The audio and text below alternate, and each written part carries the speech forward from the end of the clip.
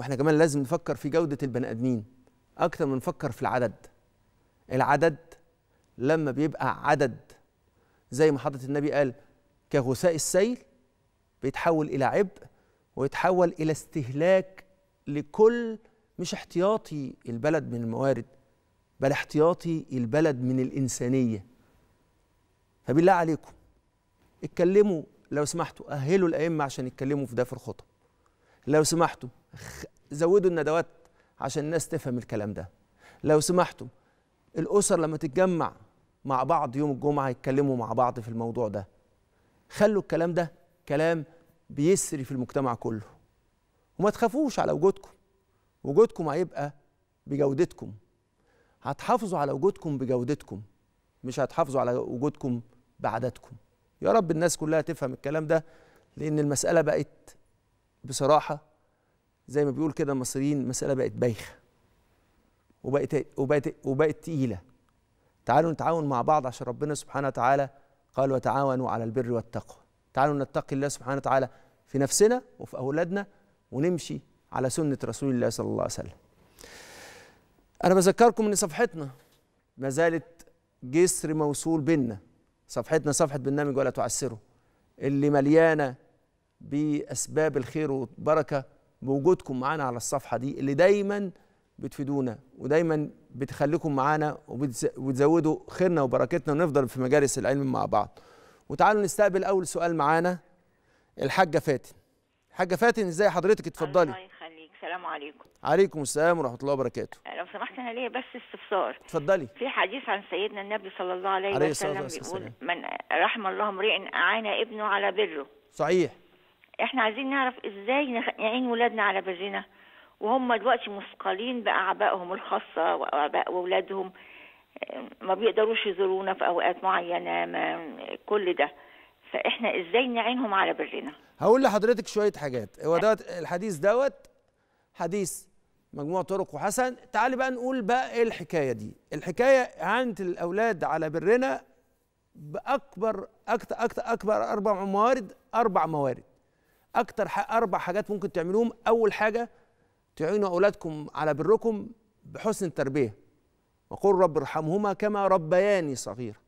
يبقى حسن التربية. أول حاجة عشان تعين أولادك على على برك أحسن تربيتهم. تاني حاجة عشان تعين أولادك على برك إيه اللي حاصل؟ إنك تداوم معاهم العيش الحسن والعشرة الحسن خلاص هم كبروا. تعاشرهم بقى العشرة الحسنة وتكون معاهم. يعني إيه تعاشرهم عشرة حسنة؟ ما تتحولش إلى عبء عليهم. الحاجة الثالثه ترك الظلم فيما بينهم. ما تظلمش حد فيهم. ما تظلمش حد فيهم يعني إيه؟ ما تأذيهوش. يبقى إيه ما تأذيهوش؟ بس الأولاد ما يبصوش لفلوسك لكن أنت ما تظلمش حد فيهم. ما تظلمش حد فيهم يعني إيه؟ ما يكونش واحد متجوز اتنين فيروح ظالم أولاد دي من أجل أولاد دي. لا ده نوع من أنواع الظلم. آخر حاجة أنا بقول أكبر أربع موارد تحصل لك بر ابنك. يبقى أول حاجة قلنا التربية تاني حاجة العشرة تالت حاجة العدل بينهم وعدم الظلم رابع حاجة مداومة النصيحة وكمان مداومة الرحمة. إن أنت تكون ناصح ورحيم بيهم طول الوقت. الأربع حاجات دول إيه اللي حاصل؟ هم دول اللي يوصلوا أولادك لبرك. مش إنك أنت تديهم فلوس على طول مش هو ده اللي يوصلهم للبر.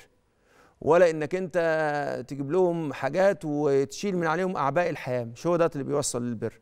ممكن على فكرة تجيب لهم والأولاد يطلعوا طماعين. يبقى الخم... الأربع حاجات دول هم أهم حاجات عشان نوصل للبر يا حاج فاتن. السيد محمد من الأقصر يتفضل يبدو إن السيد محمد محتاج إن هو يتصل بينا تاني يا فندم. يبقى إحنا إحنا دلوقتي اتكلمنا عن بر الأولاد.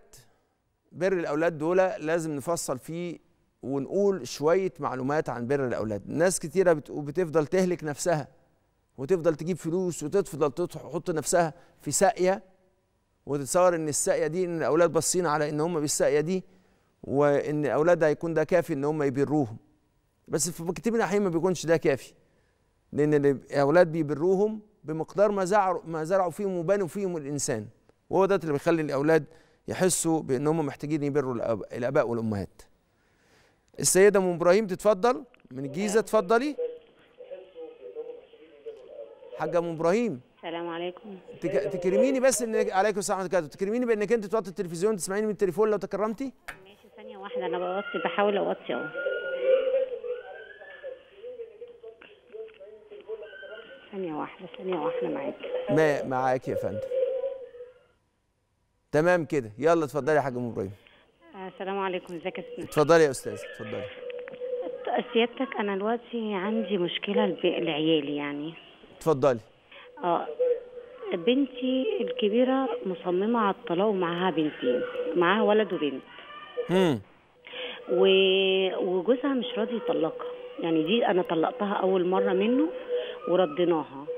طلقتيها أول مرة؟ آه أول مرة اتطلقت. وقعدت أنت اللي. طلقتيها ولا هي اللي آه، اتطلقت؟ لقيت عيالها اتبهدلوا ورجعت. هو أنت اللي طلقتيها ولا هم ولا هي اللي يعني اتطلقت يعني سيادتك آه لا لا ما هم يعني مؤاخذة معلش ما هي آه ورجعت. يعني إيه إشكال بسبب إيه جوزها. وهو عليه ملموس عليه حاجة يعني عليه حاجة وكان تعبها قوي طيب قولي لي طيب ال ال ال سؤالك فين؟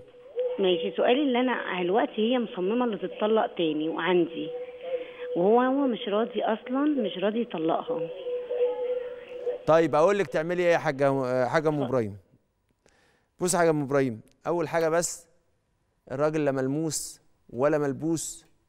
الراجل ده بس عايز إيه؟ عايز يعيد تغيير فهمه لمعنى الأسرة.